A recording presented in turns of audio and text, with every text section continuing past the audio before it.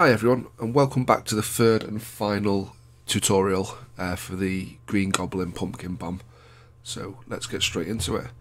What we want to start with is just taking the, the Goblin Bomb and moving it slightly up just so it's sat on the floor. And then we can press so Shift A and add a plane. We want to press S to scale this up. Uh, a good size was about 28 and 15 on each. So for the road, that we'll be using textures from CG Bookcase. I'll put a link in the description below, but it's just a pack of road textures. Uh, it comes with a base colour, height, normal and roughness. Um, so once you've downloaded them, if we make a new material on, on the, the plane that we've made, road over in the shader. What we want to do is drop in the materials so we've got the base color the roughness the normal and the height. The height and a normal map.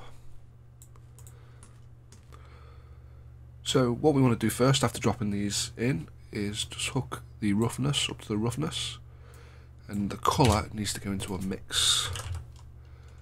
Mix RGB and we'll set this on multiply. And we're just going to mix the colour and the roughness together before going into the base. There we go. We can use this slider here to adjust. So about 0.8 so with the height and the normal map we want to add a bump node. And the height will go into the height. Make sure this is set on non-color it's also the same as the roughness. And then the normal map needs to go into a normal color color and this can plug into the normal here. And then plug that straight into the normal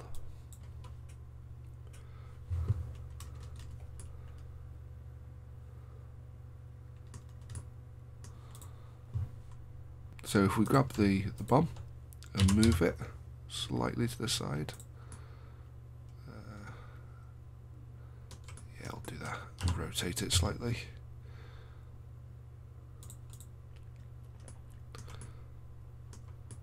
There we go. So next thing we're going to do is just quickly add a camera. So you press Shift A and add a camera. So you can press zero to look through that camera if you press N to open up the the the menu at the side, go into View, and click Camera to View. So when you start moving, it will also move the camera at the same time. And once we're happy with the the composition, you can just unclick that, and now you can just start moving around. And to go back into camera view, just press uh, zero on the number pad. So the the next thing we're going to do is just add the HDRI to the background. Um, I've also added a link to the free HDR from uh, HDR Haven. So while the shader editor is still open, if you click where it says object and onto world. So first we want to do is just delete the background. We don't need that. Press shift A and add a environment texture. Then we can open up our HDRI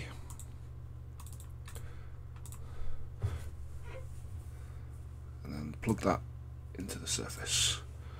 Also, if you control T onto that and add the node wrangler, we do need to make sure we're in rendered view. Press zero. We can use the Z axis to rotate around. And we're done here with this, so we can close that. Let's set up the environment a little bit because it's a little bit too bloomy. I'll turn the intensity down slightly.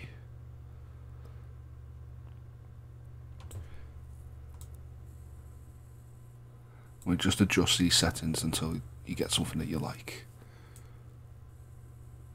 So before we do that, we'll quickly turn up the bloom on the emission shader.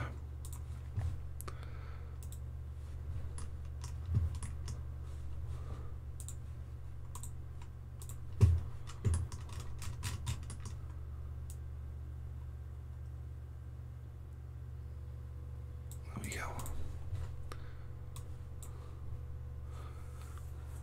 Let's go into our camera view. So if you go into the camera settings, the space reflections on. Uh, so move this slightly up.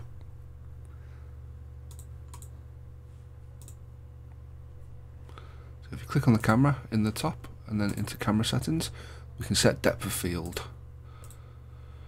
So we can mess around with settings here, but what we a better way of doing this is to shift A and add an empty. We can move this around. So we'll call this camera, uh, camera target. And click back on the camera and focus on the camera target. So now if we start lowering the f-stop, you see it starts blurring out the background.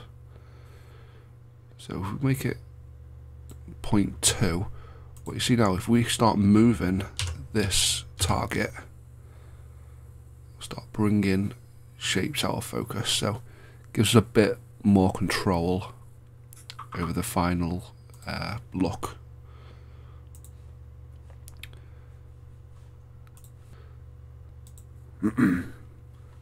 Maybe a little bit, 0.3.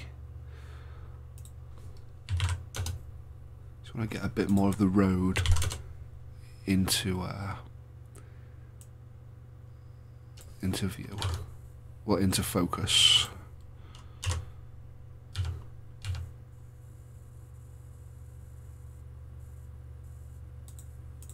There you go.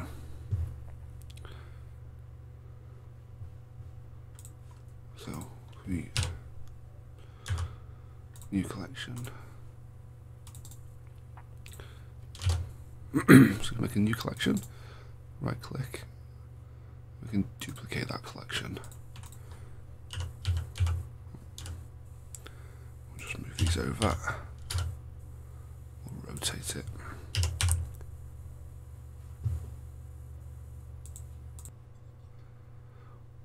and that's it and once that's all set up you can just click up at the top to render and that's the, the full process I used to create the pumpkin bomb. Thanks again for watching. Bye.